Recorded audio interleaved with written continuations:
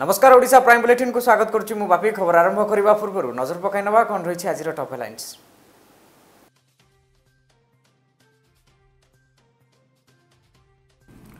ଆସନ୍ତାକାଲି ବିଶ୍ୱ ପ୍ରସିଦ୍ଧ ରଥଯାତ୍ରା ଶ୍ରୀମନ୍ଦିର ଛାଡ଼ି ରଥାରୂଢ଼ ହେବେ ମହାବାହୁ। ଆଜ୍ଞାମାଳ ବିଜେ ପରେ ଶ୍ରୀମନ୍ଦିର ଅଭିମୁଖେ ଗଡ଼ିଲା ରଥ।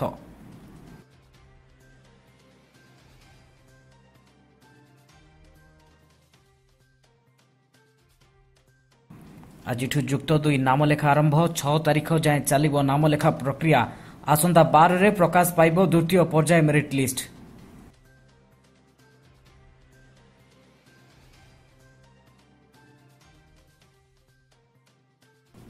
ଢେଙ୍କାନାଳରେ ଯୋଡ଼ା ଶିଶୁ ଜନ୍ମ ହେବା ଘଟଣା ମେଡିକାଲ ରିପୋର୍ଟ ପରେ ମଉଳିଲା ଅଲଗା ହେବା ଆଶା। ଦୁଇ ଜଣଙ୍କର ଗୋଟିଏ ହୃତ୍ପିଣ୍ଡ ଗୋଟିଏ ଯକୃତ।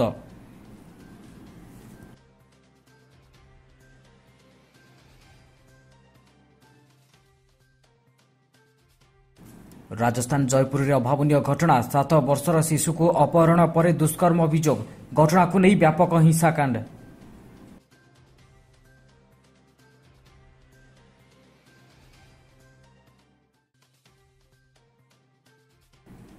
ବନ୍ଦ ହୋଇପାରେ ବିଏସ୍ଏନ୍ଏଲ୍ ସେବା ତେର ହଜାର ଆଠଶହ ଚଉତିରିଶ କୋଟି କ୍ଷତିରେ ଚାଲୁଛି କମ୍ପାନୀ ଦୁର୍ବଳ ଟେକ୍ନୋଲୋଜି ପାଇଁ ଘରୋଇ କମ୍ପାନୀ ସହ ତାଳ ଦେଇ ଯାଇପାରୁନଥିବା ଅଭିଯୋଗ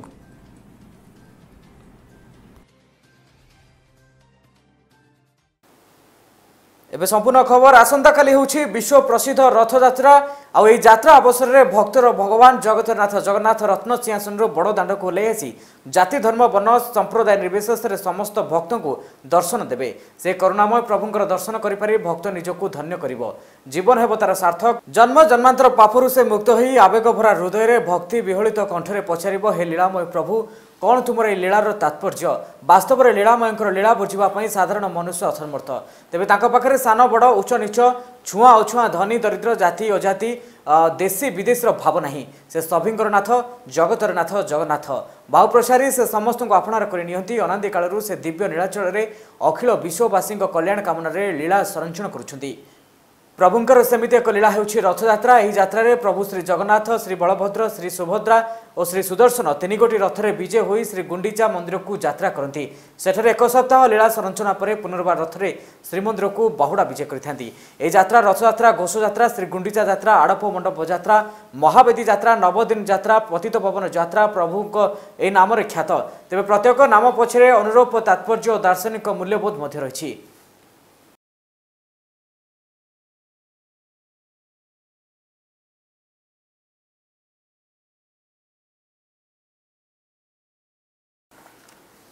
আসবা পরবর্তী খবরকু ঢেঙ্কানাল কামাখ্যা নগরের যোড়া শিশু জন্ম হওয়া ঘটনা শিশু ভবনের চিকিৎসিত হেউথিবা দুই যোড়া শিশুঙ্ হৃৎপিণ্ড ও যকৃত গোটিয়ে গতকাল অল্ট্রাসাউন্ড এবং এক্সরে রিপোর্ট আসবা পরে ডাক্তারী টিম এভাবে প্রাথমিক রিপোর্ট প্রকাশ করেছেন আজ দুই ভৌণী কটক মেডিকাল এমআরআই পরীক্ষা করা অন্যপটে সোমবার ঠার এনসিইউরে চিকিৎসিত হেউথিবা ଦୁଇ ଭଉଣୀକୁ ଗତକାଲି ନ୍ୟୁଟ୍ରାଲ ଇଣ୍ଟେନ୍ସିଭ୍ କେୟାର ୟୁନିଟ୍କୁ ସ୍ଥାନାନ୍ତରିତ କରାଯାଇଛି। ସେଠାରେ ଥିବା ଆଇସିୟୁରେ ସ୍ୱତନ୍ତ୍ର ଧ୍ୟାନ ଦିଆଯିବାକୁ ଡାକ୍ତରୀ ଟିମ୍ ଯୋଜନା କରୁଛନ୍ତି। ଢେଙ୍କାନାଳ ଜିଲ୍ଲା ପର୍ଯ୍ୟଙ୍ଗ ଥାନା ଖଳପାଳ ଗାଁର ରେଣୁବାଳା ବେହେରାଙ୍କ ଢେଙ୍କାନାଳ ଜିଲ୍ଲା ମୁଖ୍ୟ ଚିକିତ୍ସାଳୟରେ ସୋମବାର ଦିନ ଏଭଳି ଯୋଡ଼ା ଶିଶୁ କନ୍ୟା ଜନ୍ମ ହୋଇଥିଲେ। କିନ୍ତୁ ସ୍ୱାସ୍ଥ୍ୟ ଅବସ୍ଥା ଗୁରୁତର ଥିବାରୁ ଉଭୟଙ୍କୁ କଟକ ଶିଶୁ ଭବନରେ ଭର୍ତ୍ତି କରାଯାଇଛି।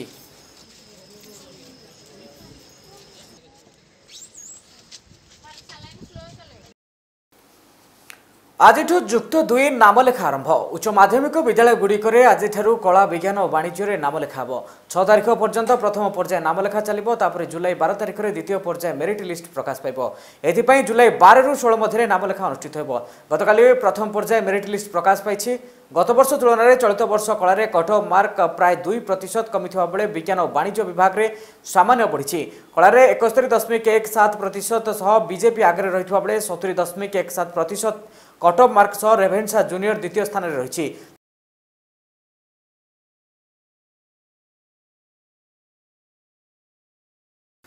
আসবা পরবর্তী খবরকু রায়গড়া সহরস্থিত গেঙ্গ গ্যারেজ ছক নিকটে মর্মাহত সড়ক দুর্ঘটনা দুর্ঘটনায় জন যুবকর মৃত্যু হয়েছে মৃত যুবক হলে বীর নারায়ণপুর গ্রামর রোজিও কণ্ডাগিরি সূচনা অনুযায়ী রোজিও এক পলসর বাইক্রে যাওয়া বেড়ে সে সময় রাস্তাকড়ে থাকা এক ভেনর ড্রাইভর নিজ গাড়ির কবাট খোলিদেবার রোজিও বাইক্রু পড়ি যাই ফলে পছর আসা ট্রকটি তাঁর উপরে চড়ি যাই তবে ঘটনাস্থলে হি তাঁর মৃত্যু হয়েছিল আউ ঘটনাকে নিয়ে স্থানীয় অঞ্চলের উত্তেজনা সৃষ্টি পাইছিল ফলে যানবাহন চলাচল বাধা সৃষ্টি হয়েছিল পরে ঘটনাস্থলে রায়গড়া এসপি সহ কিছু পুলিশ অধিকারী পৌঁছি উত্তেজিত লোক মানুষ বুঝাসুঝা করা পরে উক্ত রাস্তায় যাতায়াত স্বাভাবিক হয়েছিল মৃতদেহক পুলিশ জেলা মুখ্য চিকিৎসালয়ক আনি সব ব্যবচ্ছেদ পরে পরিবার লোক হস্তান্তর করা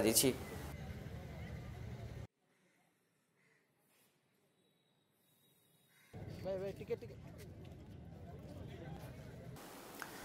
ସେପରି ଉତ୍ତର ଓଡ଼ିଶା ବିଶ୍ୱବିଦ୍ୟାଳୟର ବାୟୋଟେକ୍ନୋଲୋଜି ବିଭାଗର ପ୍ରିୟ ସରଳ ଅଧ୍ୟାପକ ଏବଂ ଜାତୀୟ ସେବା ଯୋଜନା ମେଲ୍ର ପିଜି ୟୁନିଟ୍ର କାର୍ଯ୍ୟକ୍ରମ ଅଧିକାରୀ ଭାବେ ପ୍ରଫେସର ରୁଦ୍ରନାରାୟଣ ମୁଣ୍ଡା ଦୀର୍ଘ ବର୍ଷରୁ ବିଶ୍ୱବିଦ୍ୟାଳୟରେ କାର୍ଯ୍ୟ କରି ଆସୁଥିଲେ। ତାଙ୍କର ନମ୍ର ସ୍ୱଭାବ ପାଇଁ ସେ ସମସ୍ତ କର୍ମଚାରୀ ସହଯୋଗୀ ଏବଂ ଛାତ୍ରଛାତ୍ରୀଙ୍କର ଖୁବ୍ ପ୍ରିୟ ମଧ୍ୟ ରହିଥିଲେ। ତେବେ ଆଜି ଦିନ ଦଶଟା ସମୟରେ ଉତ୍ତର ଓଡ଼ିଶା ବିଶ୍ୱବିଦ୍ୟାଳୟର ଜୈବ ପ୍ରଯୁକ୍ତି ବିଦ୍ୟାର ଅଧ୍ୟାପକ ଶ୍ରୀଯୁକ୍ତ ରୁଦ୍ରନାରାୟଣ ମୁଣ୍ଡାଙ୍କ ଅ, କଲେଜ ଯିବା ରାସ୍ତାରେ ହୃଦଘାତରେ ମୃତ୍ୟୁ ହୋଇଛି। ତାଙ୍କ ନିଜ ଘର ମୟୂରଭଞ୍ଜ ଜିଲ୍ଲାର ବିଷୋଇଠାରେ ତେବେ ତାଙ୍କ ଅଧ୍ୟାପକ ଜୀବନରେ ସେ ଏନ୍ଏସ୍ଏସ୍ ସହିତ ଜଡ଼ିତ ରହି ବିଶ୍ୱବିଦ୍ୟାଳୟର ବହୁ ବିଦ୍ୟାର୍ଥୀଙ୍କୁ ସମାଜସେବା କାର୍ଯ୍ୟ କରିବା ପାଇଁ ଅନୁପ୍ରାଣିତ କରୁଥିଲେ। ସେ ବହୁ ଧୀର ଓ ଶାନ୍ତ ସ୍ୱଭାବର ଅଧ୍ୟାପକ ଥିଲେ। ତେଣୁ ସବୁ ବିଦ୍ୟାର୍ଥୀଙ୍କ ଅତି ପ୍ରିୟ ଭାବେ ସେ ରହିଥିଲେ।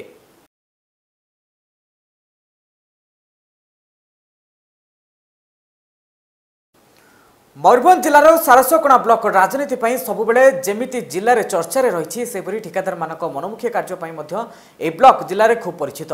ନିମ୍ନମାନର ରାସ୍ତା ଓ ଶସ୍ତା ବଜେଟରେ କାମ କରିବା କିଏ ଶିଖିବ ଯଦି ସାରସକଣା ବ୍ଲକ ଆସିବା ଆବଶ୍ୟକ? ପାଣିପାଗ ବିଭାଗର ସୂଚନା ପରେ କେବଳ ଅସରାଏ ବର୍ଷାରେ ଅନେକ ରାସ୍ତାର ହାଲ ବେହାର ହୋଇପଡ଼ିଛି। ବିଲ୍ ଉଠାଇବାକୁ କେଉଁଠି ନିମ୍ନମାନର ମାଟି ବ୍ୟବହାର କରାଯାଉଛି ତ କେଉଁଠି ମରମ।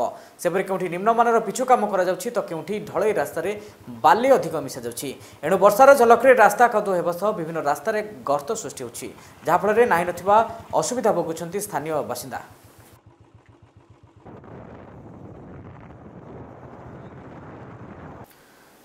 আসবা পরবর্তী খবর কু রাজ্যের ক্ষমতাসীন বিজেডি সরকার এবে কালিয়া অড়ুয়া পরিস্থিতির সৃষ্টি করেছে নির্বাচন মাত্র কিছু দিন পূর্ব রাজ্য সরকার ঘোষণা করে যোজনা বাটরে ছিড়া হয়েছে আইনর পাচেরি নির্বাচনের ছমাস ভিতরে ঘোষণা হয়ে এভাবে কিছু যোজনা অসিদ্ধ ঘোষণা করা তেলেঙ্গানার পি পোলরা করে আবেদন বিচার লাগে সুপ্রিমকোর্ট গ্রহণ করা কেন্দ্র সরকার ଓଡ଼ିଶା ଆନ୍ଧ୍ରପ୍ରଦେଶ ତେଲେଙ୍ଗାନା ସରକାର ଓ ମୁଖ୍ୟ ନିର୍ବାଚନ କମିଶନରଙ୍କୁ ନୋଟିସ୍ ଜାରି କରିଛନ୍ତି ଓଡ଼ିଶା ସରକାରଙ୍କର କାଳିଆ ଯୋଜନା ଭଳି କେନ୍ଦ୍ରର ପିଏମ୍ କିଷାନ ତେଲେଙ୍ଗାନାର ରଇତୁ ବନ୍ଧୁ ଆନ୍ଧ୍ରର ପୁଷୁମ କୁସୁମମ ଏପରି ପଶ୍ଚିମବଙ୍ଗ ଝାଡ଼ଖଣ୍ଡ ସରକାରଙ୍କ ପକ୍ଷରୁ ଅନୁରୂପ ଯୋଜନା ଘୋଷଣା କରାଯାଇଥିଲା ଏପରିକି ନିର୍ବାଚନ ସମୟରେ ଚାଷୀଙ୍କ ଆକାଉଣ୍ଟକୁ ସିଧା ଟଙ୍କା ମଧ୍ୟ ପଠାଯାଇଥିଲା। ଏହାଛଡ଼ା ଟିଭି ଓ ଫ୍ରିଜ୍ ଭଳି ମୂଲ୍ୟବାନ ଘରକରଣା ସାମଗ୍ରୀ ମଧ୍ୟ ବଣ୍ଟା ଯାଇଥିଲା ଯାହା ଜନପ୍ରତିନିଧି ଆଇନର ଉଣେଇଶହ ଏକାବନର ସେକ୍ସନ ଶହେ ତେଇଶ ଏକ ଅନୁସାରେ ଭୋଟରଙ୍କୁ ସିଧାସଳଖ ଲାଞ୍ଚ ବୋଲି ଆବେଦନକାରୀ ପି ଅ, ପୁଲରାଓ ଦର୍ଶାଇଥିଲେ। ଏହାକୁ ସୁପ୍ରିମକୋର୍ଟ ବିଚାର ଲାଗି ଗ୍ରହଣ କରିବା ସହିତ ଏବେ ନୋଟିସ୍ ଜାରି କରିଛନ୍ତି।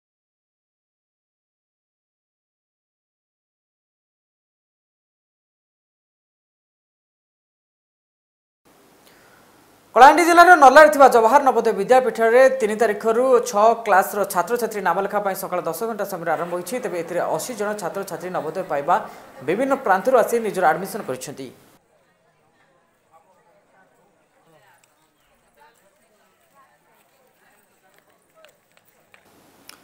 ସରକାର କହୁଛନ୍ତି ଜନ୍ମରୁ ମୃତ୍ୟୁ ପର୍ଯ୍ୟନ୍ତ ଯୋଜନା କାର୍ଯ୍ୟକାରୀ ହୋଇଛି। ମାକୁ ସମ୍ମାନ ଗାଁକୁ ବିକାଶ ସରକାରଙ୍କ ସ୍ଲୋଗାନ ଯାଏଁ ଏହା ଭୁଲ ଏବେ ପ୍ରମାଣିତ କରିଛନ୍ତି ଗ୍ରାମବାସୀ। ଗାଁର ବିକାଶର ସ୍ଲୋଗାନ ସ୍ଲୋଗାନ ରହିଯିବା ପରି ଦେଖାଯାଉଛି।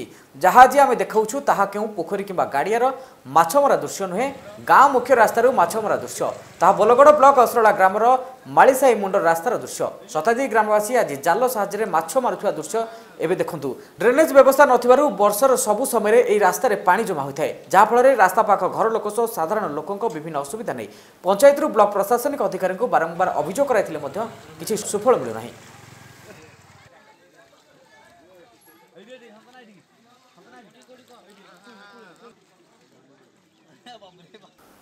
ବେଗୁନିଆ ଥାନା ଅଞ୍ଚଳରେ ଦିନକୁ ଦିନ ବଢ଼ି ଚାଲିଥିବା ରାହାଜାନୀ ସହ ହତ୍ୟାକାଣ୍ଡର ମୁଖ୍ୟ ଅଭିଯୁକ୍ତକୁ ଗିରଫ କରିବାର ସଫଳତା ହାସଲ କରିଛି ବେଗୁନିଆ ପୋଲିସ। ସୂଚନା ଥାଉ କି ଗତ ମେ ତେଇଶ ତାରିଖ ରାତ୍ର ନଅଟା ତିରିଶ ମିନିଟ୍ରେ ସନ୍ତୋଷ ପାତ୍ର ଏକ ଅଟୋ ସାହାଯ୍ୟରେ ଘରକୁ ଫେରୁଥିବା ସମୟରେ ଡିଙ୍ଗର ପରିଚୟ ରାସ୍ତା ମଧ୍ୟରେ ବାଳକୃଷ୍ଣ ସହ ତାଙ୍କ ସହଯୋଗୀ ତିନୋଟି ବୋମା ମାଡ଼ କରି ସନ୍ତୋଷକୁ ହତ୍ୟା କରିଥିଲେ ଯାହାର ଆଜି ପର୍ଦ୍ଦାଫାଶ କରିଛି ବେଗୁନିଆ ପୋଲିସ। ମୁଖ୍ୟ ଅଭିଯୁକ୍ତ ବାଳକୃଷ୍ଣ ଅର ପ୍ରତାପ ସ୍ୱାଇଁଙ୍କ ସହ ବୋମା ଯୋଗାଇଥିବା ବିକାଶ ପାତ୍ରକୁ ମଧ୍ୟ ଗିରଫ କରିବାରେ ସଫଳ ହୋଇଛି ପୋଲିସ। ତା ସହ ବ୍ୟବହୃତ ଏକ ଆପାଚି ମୋଟରସାଇକେଲ ମଧ୍ୟ ଜବତ କରିଛି।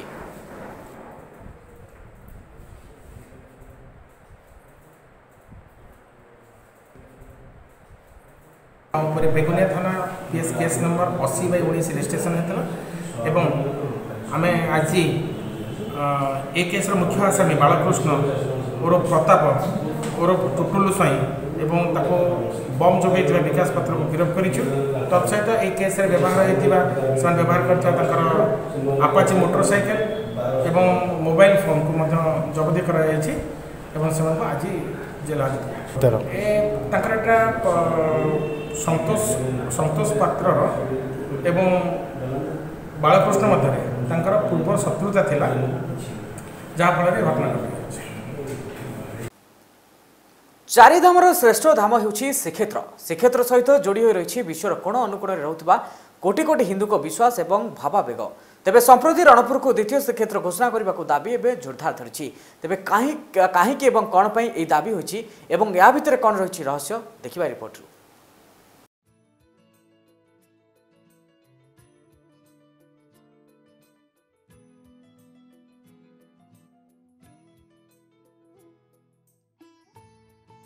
କିମ୍ବଦନ୍ତୀ ଅନୁସାରେ ପ୍ରାଚୀନ ରଣାସୁରପୁର ଯାହାକି ଆଧୁନିକ ରଣପୁରର ରାଜା ଉଦ୍ଧବ ନରେନ୍ଦ୍ର ମହାପ୍ରଭୁ ଶ୍ରୀ ଜଗନ୍ନାଥଙ୍କର ପରମ ଭକ୍ତ ଥିଲେ ସେ ପ୍ରତିଦିନ ସ୍ନାନ ସାରି ମହାପ୍ରଭୁଙ୍କୁ ଦର୍ଶନ ପାଇଁ ଅଶ୍ଵ ଆରୋହଣ କରି ଶ୍ରୀକ୍ଷେତ୍ର ଯାଇଥାନ୍ତି।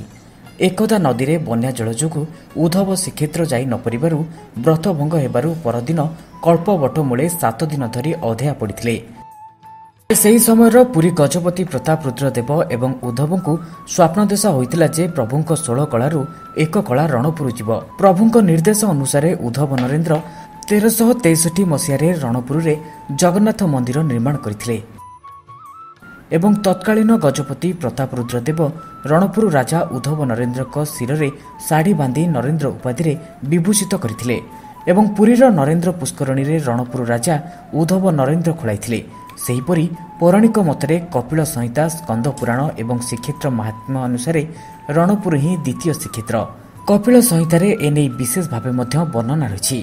ମହାପ୍ରଭୁ କଣ୍ଟିଲ ନୀଳମାଧବ କ୍ଷେତ୍ରରୁ ଶ୍ରୀକ୍ଷେତ୍ର ଆସିବା ପରେ ବିଶ୍ୱାବସୁ ଏବଂ ତାଙ୍କ ବଂଶଧରମାନେ ଶ୍ରୀକ୍ଷେତ୍ରରେ ସେବା ପୂଜାର ଅଧିକାର ପାଇଥିଲେ ଏବଂ ବିଶ୍ୱାବସୁଙ୍କ ଭାଇ ବିଶ୍ୱବାସବ ଚକାଶିଳା ପୂଜା କରି ରଣପୁର ରାଜ୍ୟରେ ରାଜୁତି କରିଥିଲେ। ଶ୍ରୀକ୍ଷେତ୍ର ଭଳି ରଣପୁରରେ ଚତୁର୍ଦ୍ଧାମୂର୍ତ୍ତିଙ୍କ ନିକଟରେ ପ୍ରତ୍ୟହ ମଙ୍ଗଳ ଆଳତୀଠାରୁ ଆରମ୍ଭ କରି ବଡ଼ ସିଂହାର ରାତ୍ର ପହୁଡ଼ ପର୍ଯ୍ୟନ୍ତ ସମାନ ଭାବରେ ନୀତିକାନ୍ତି ହୁଏ। ରଣପୁରରେ ମଧ୍ୟ ଛତିଶା ନିଯୋଗ ହେବା ସହ ପୁରୀ ଭଳି ମହାପ୍ରଭୁଙ୍କ ଦ୍ୱାଦଶ ଯାତ୍ରା ମଧ୍ୟ ଅନୁଷ୍ଠିତ ହୁଏ।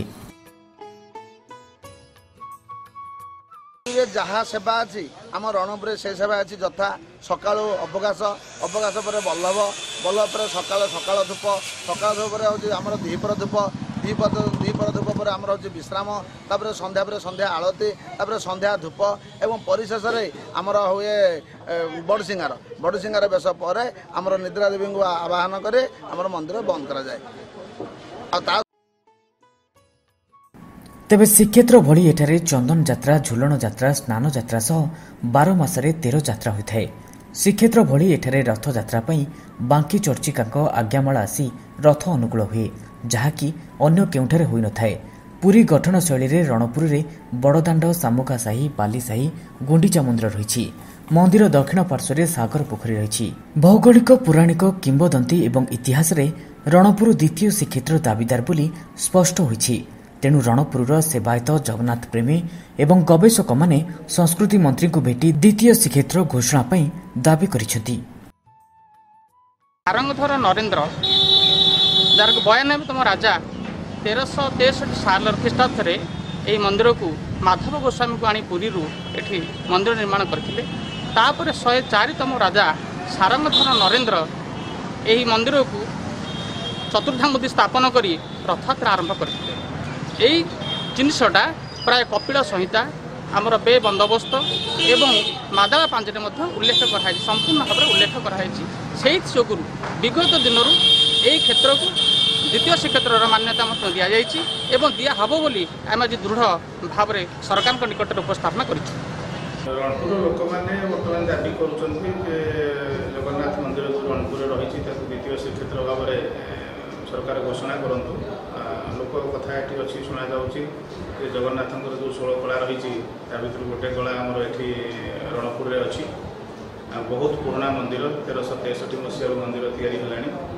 ରଥଯାତ୍ରା ତ ସେମିତି ଶୁଣାଯାଉଛି ସତରଶହ ଚଉବନ ମସିହାରୁ ଏଠି ରଥଯାତ୍ରା ସେ ପାରମ୍ପରିକ ରୀତି ରୀତିନୀତି ଯାହା ପୁରୀରେ ରହିଛି ଜଗନ୍ନାଥ ମନ୍ଦିରଙ୍କର ଏଠି ଠିକ୍ ସେମିତି ଏକା ଢଙ୍ଗରେ ସବୁ ପ୍ରକାର କାର୍ଯ୍ୟକ୍ରମ ଏଠି ହେଉଛି।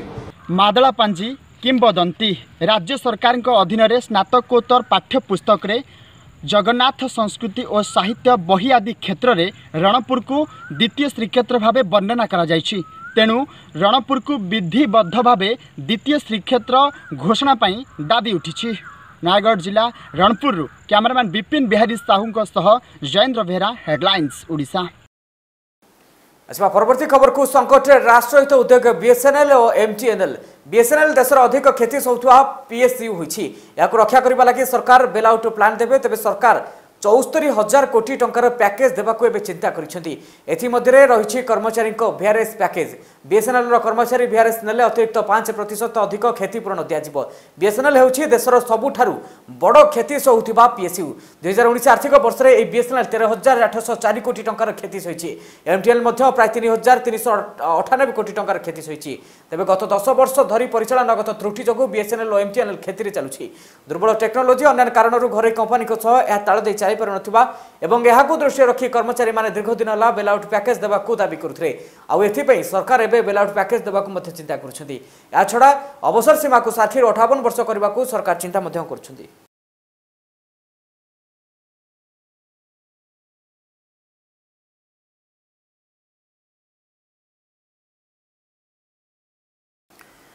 আসবা আউ এক বড় খবরকু জয়পুর রাজস্থান জয়পুরের জনে সাত বর্ষীয় শিশুক অপহরণ পরে দুষ্কর্ম করা আউ এভଳି ঘটনা সামনাকু আসবা পরে লোকমানে ন্যায় দাবিরে বিভিন্ন রাস্তায় পোড়াজলা বিক্ষোভ করেছেন ସ୍ଥିତି ଉତ୍ତେଜନାପୂର୍ଣ୍ଣ ରହିବାରୁ ପ୍ରଶାସନ ପକ୍ଷରୁ ସ୍ଥାନୀୟ ଅଞ୍ଚଳରେ ଇଣ୍ଟରନେଟ୍ ସେବାକୁ ମଧ୍ୟ ବନ୍ଦ କରି ଦିଆଯାଇଛି ତେବେ ଶିଶୁଟି ସୋମବାର ସନ୍ଧ୍ୟାରେ ଶାସ୍ତ୍ରୀନଗରସ୍ଥିତ ତାଙ୍କ ଘର ବାହାରେ ଖେଳୁଥିଲା। ଏହି ସମୟରେ ଜଣେ ବ୍ୟକ୍ତି ସେଠାରେ ବାଇକ୍ ଯୋଗେ ପହଞ୍ଚି ଝିଅଟିକୁ ନିଜ ସହ ନେଇଯାଇଥିଲେ। ଏହାର ଦୁଇ ଘଣ୍ଟା ପରେ ଶିଶୁଟି ନିକଟସ୍ଥ ଏକ କେନାଲ ନିକଟରେ ଅଚେତ ଅବସ୍ଥାରେ ପଡ଼ିଥିବା ମଧ୍ୟ ଦେଖିବାକୁ ମିଳିଥିଲା। ପରିବାର ଲୋକେ ତୁରନ୍ତ ଝିଅଟିକୁ ଜୟପୁରର ଏକ ହସ୍ପିଟାଲକୁ ଭର୍ତ୍ତି କରିଥିଲେ। ଏବେ ବି ଶିଶୁଟିର ଅବସ୍ଥା ସଙ୍କଟାପନ୍ନ ରହିଥିବା ଜଣାପଡ଼ିଛି। ଏହି ଘଟଣା ପରେ ଲୋକମାନେ ସ୍ଥାନୀୟ ପୋଲିସ ଷ୍ଟେସନ ଆଗରେ ନ୍ୟାୟ ପାଇଁ ବିକ୍ଷୋଭ କରିଛନ୍ତି।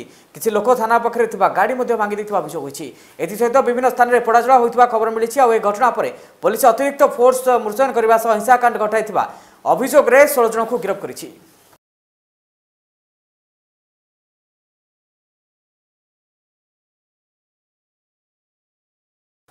এরসমান নির্বাচন মন্ডলীর ঢিঙ্কিয়া পঞ্চায়েতের চালিছি সরপঞ্চ পদ পাই ভোটদান প্রক্রিয়া গত সোমবার দিন এই নির্বাচনকু নেই দুই সরপঞ্চ প্রার্থী সমর্থক মধ্যে মধ্যে মুহাঁমুহি হয়েছে পরিস্থিতি উপুজিথিবা দেখা মিলিলা হেলে আজ ব্যাপক পুলিশ মুতয়ন করা শান্তি শৃঙ্খলার সহ মতদান প্রক্রিয়া চালু রয়েছে নিজে অতিরিক্ত এসপি উপস্থিত রহি আইন শৃঙ্খলা পরিস্থিতি উপরে নজর রাখিছেন ঢিঙ্কিয়া পঞ্চায়েতর তেইশটি বুথে মোট সাত জন প্রার্থী ভাগ্য নির্ধারণ করবে সাত হাজার দেড়শহ জন মতদাতা। গত সোমবার রাতে কিছু নির্দিষ্ট দলর নেতা মানে আদর্শ আচরণ বিধি উল্লঙ্ঘন করে অভিযোগ হয়েছিল সন্ধ্যা ছটার নির্বাচন প্রচার সভা সমিতি অবধি শেষ হয়েছে বি রাতে আঠটা যায় বিজেডি নেতা, গোবিন্দপুর গ্রামের নেতা মানে নির্বাচন সভা করুক অভিযোগ হয়েছিল এপরিকি উক্ত সভায় ভোটরকে খোলাখোলি ছয়াশ লক্ষ টাকার প্রলোভন দেখাইলে খোদেরসভা ব্লক বিজেডি সভাপতি ପିତବାସଙ୍କୁ ଛାୟିତ ମନ୍ତ୍ରୀ ପ୍ରସାବ ଦେଇଥିବା ସେ ଭାଷଣରେ କହିଥିଲେ ବିଜେଡି ସମର୍ଥିତ ପ୍ରାର୍ଥୀ କିଶୋରୀ ପରିଡ଼ାଙ୍କୁ ଜିତାଇଥିଲେ ଏହି ଅର୍ଥ ଦିଆଯିବ ବୋଲି ଭାଇରାଲ ହୋଇଥିବା ଭିଡ଼ିଓରେ ସ୍ପଷ୍ଟ ହୋଇଥିଲା। ଏହାକୁ ନେଇ ମୁହାଁମୁହିଁ ହୋଇଥିଲେ ଦୁଇ ଗୋଷ୍ଠୀ ଯେଉଁଥିରେ ଢିକିଆର ସୁଶାନ୍ତ ସାମଲଙ୍କ ମୁଣ୍ଡରେ ଗଭୀର ଆଘାତ ଲାଗିଥିଲା। ଏନେଇ ଅଭୟଚାନ୍ଦପୁର ଥାନାରେ ଦୁଇଟି ମାମଲା ରୁଜୁ ହୋଇଛି ତେବେ ଏପର୍ଯ୍ୟନ୍ତ କୌଣସି ଅପ୍ରୀତିକର ପରିସ୍ଥିତି ନଜରକୁ ଆସିନଥିବା ଦେଖିବାକୁ ମିଳିଛି।